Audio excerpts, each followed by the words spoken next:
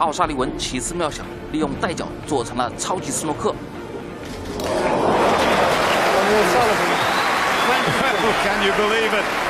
塞比都看呆了。哎，塞比这杆简单红球没有打进，这样的话，整个局面交给了火箭奥沙利文。现在火箭已经是九比八率先拿到比赛的冠军赛点，但是小比分落后四十六分。漂亮，中袋太稳了，不愧为中袋老王子啊！塞比这杆失误非常的郁闷啊，毕竟火箭只要逆转的话就能拿下冠军。但是这局火箭想要逆转的话，难度还是比较大，因为左侧的四个红球靠着护边，但是火箭必须要清完所有的红球才有可能逆转。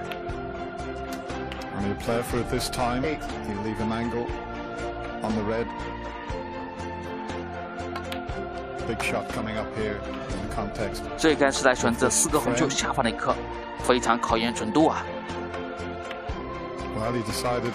好球，没有问题。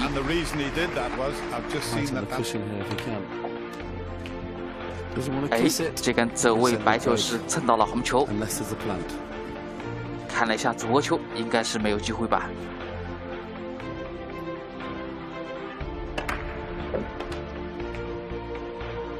嚯，这是把白球往袋口推吗？不会吧？真的是艺高人胆大，奇思妙想啊！竟然利用带脚做成了超级斯诺克，这一想法真的是太绝了！塞比都惊呆了，心想怎么会有这样的操作？这也太不尊重人了吧！这一杆解球难度非常的大，左侧的三个红球看不到，而右侧的红球是被篮球挡住了，擦着红球而过，没有接到。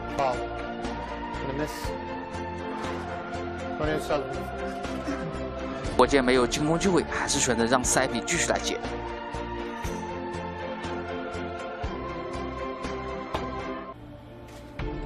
还是同样的线路，没有接到。这一杆确实非常难解啊！就算接到的话，很有可能会漏球。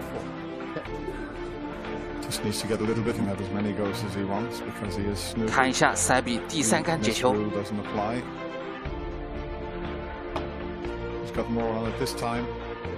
好球，终于是解到了，但是红球直接是漏球了，塞比这杆亏大了，观众们也是为火箭加油。看一下这杆能否 K 出下方的红球，虽然是开刀了，但是红球并没有 K 出机会啊，火箭也是非常的无奈。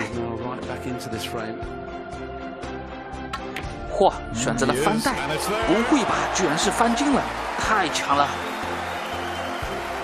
塞比彻底是看呆了。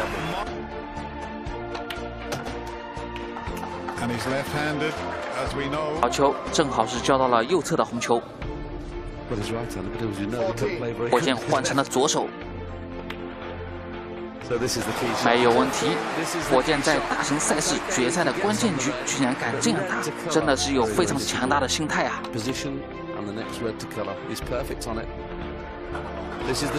漂亮，这杆走位几乎是手摆位啊！这边红球非常的考验准度，真的是太准了，打的是非常轻松，毫无压力。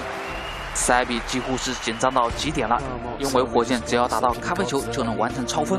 篮球角度是向下，叫了一个黄球远距离。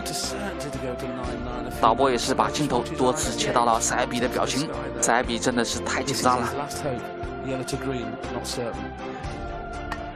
不会吧，黄球居然是没有打进，这杆失误会不会成为整场比赛的转折点？现场观众惊呼声不断，太刺激了。这杆运气非常不错，竟然是坐上了斯诺克。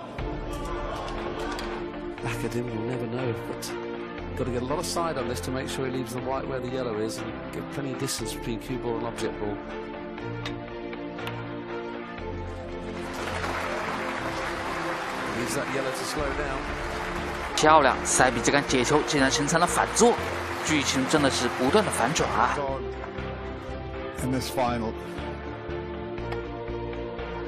好球，选择扎杆，成功接到。看一下白球，塞比不停的敲桌台面示意好球，因为这杆又反作了。这对决真的是神仙打架，太精彩了，不愧为史诗级的对决。塞比彻底是崩溃了，竟然把巧克粉放在嘴里。这一杆解球难度也是非常大，而且黄球是贴着黑球。这一杆线路需要避开下方的黑球，如果碰到黑球，很有可能会漏机会；如果碰不到，很有可能会自由球。塞比还在考虑，选择大力解球，成功解到。但是黄球依然是漏球了，感觉塞比心都碎了。这杆交位绿球还是非常的关键。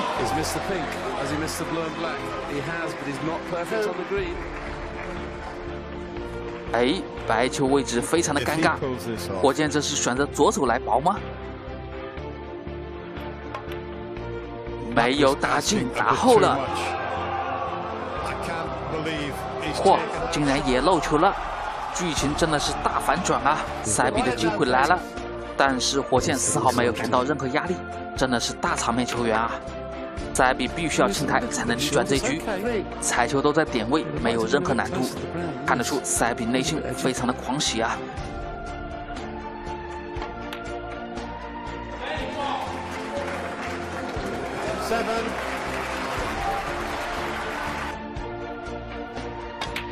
！How's the pace? It looks a bit too. No, it's going to be perfect. It's going to be absolutely frame. 18. The easiest black in the world to level at 9-9. Oh, still have another half a chance. 没有问题，塞比最终完成了逆转，真的是一波三折啊！